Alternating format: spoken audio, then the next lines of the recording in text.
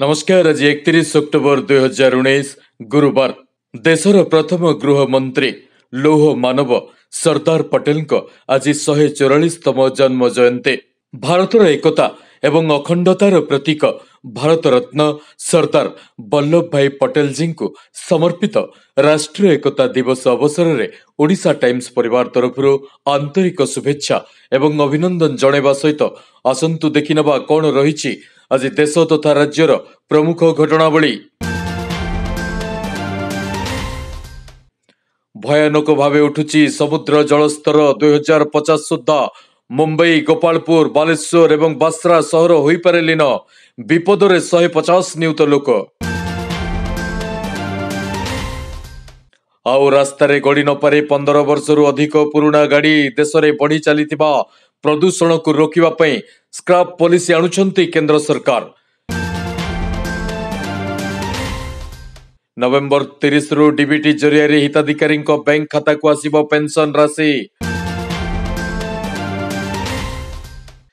ତେରଟି ମେଡିକାଲ ପାଇଁ ନିଯୁକ୍ତି ହେବେ ବରିଷ୍ଠ ଆଇଏଏସ୍ ଅଫିସର ପରଖିବେ କାର୍ଯ୍ୟଶୈଳୀ ଏବଂ ଭିତ୍ତିଭୂମି କୁଚିଣ୍ଡାରେ ଦୁର୍ଘଟଣାଗ୍ରସ୍ତ ହେଲା କୁକୁଡ଼ା ବୋଝେଇ ପିକଅପ୍ ଭ୍ୟାନ୍ ଗୁରୁତର ଆହତ ଡ୍ରାଇଭରକୁ ନ ବଞ୍ଚାଇ କୁକୁଡ଼ାକୁ ନେଇ ଚମ୍ପଟ ମାରିଲେ ସ୍ଥାନୀୟ ଲୋକ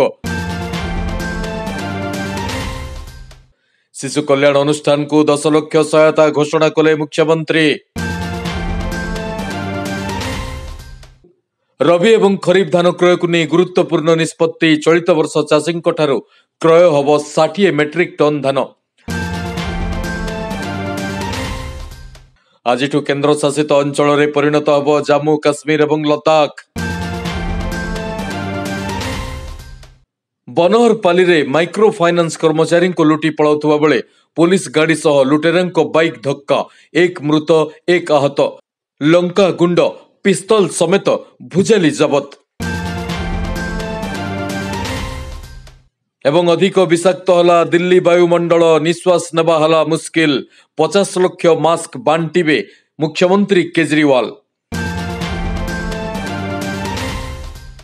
କେବିକେ ଜିଲ୍ଲାଗୁଡ଼ିକର ଅଧିକ ଖବର ଦେଖିବା ପାଇଁ ୟୁଟ୍ୟୁବ ଜରିଆରେ ଓଡ଼ିଶା ଟାଇମ୍ସକୁ ସବସ୍କ୍ରାଇବ କରନ୍ତୁ ଆଉ ଦେଖନ୍ତୁ ପ୍ରତିଦିନର ଅତି ଗୁରୁତ୍ୱପୂର୍ଣ୍ଣ ଘଟଣାବଳୀ କେବଳ ଓଡ଼ିଶା ଟାଇମ୍ସରେ